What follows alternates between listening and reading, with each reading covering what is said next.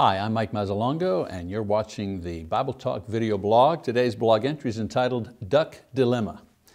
Well, the duck people have gone and done it now. The patriarch of reality television's Duck Dynasty has actually shared his Christian perspective on the subject of homosexuality with a reporter for trendy GQ magazine. Of course, the reaction to his unfiltered view of homosexuality as a sin and the comment that he didn't get why gays preferred men to women was, to say the least, a cardinal offense to that group and those who saw this as an attack on their lifestyle and human rights. Cue the media, who never pass up a chance to blow up any conflict between gays and religious groups, and you have a non-story becoming a major headline overnight. You know, this episode presents us with several lessons that all Christians who, for whatever reason, find themselves in the limelight for their 15 minutes of fame. Lesson number one, the world will never accept you.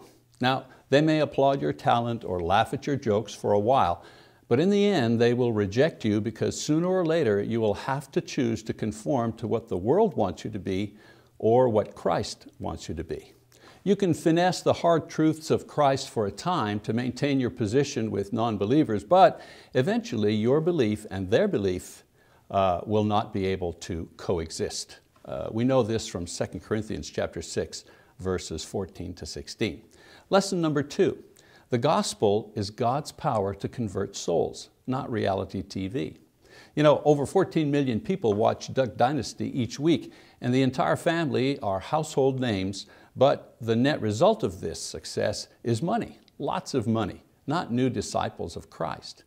A&E has made a huge profit off the show and the Robertson family has become rich. Of course, there's nothing wrong with Christian people being rich. Many faithful people in the Bible were rich. For example, Abraham, he was rich. Lydia, the seller of purple in the New Testament, she was rich.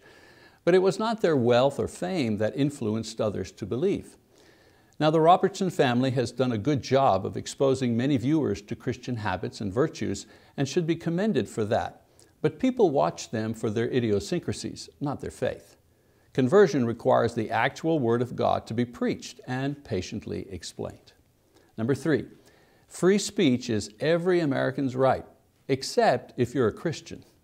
You know, Hollywood can produce the vilest of content without comment. Gay rights activists can march nearly naked in parade and are applauded. Atheists can put up giant billboards in Times Square insulting religious believers and there's no outcry. But Christians are mocked and vilified if they simply express what the Bible plainly says about men having sex with other men. It's not a surprise that A&E suspended Phil Robertson for his comments. Their parent company is Disney, the most pro-gay corporation in America. Notice that aside from church members, a few AM talk radio hosts and people on Twitter, no one of political or social importance has defended this Christian man's right to express his own personal opinion. And this given because of a direct question posed by a reporter. So the party's over, duck people.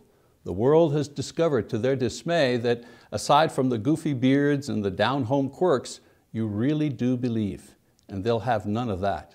You see, your faith highlights their lack of faith, and the consequence of that disbelief is spiritual death. No amount of backwoods charm can hide that central truth. You had a good run. Thanks for giving us the chance of seeing one of our own on a hit TV show. You were a light in a dark place for a little while, but you know how it is. They don't come to the light because they love the darkness more.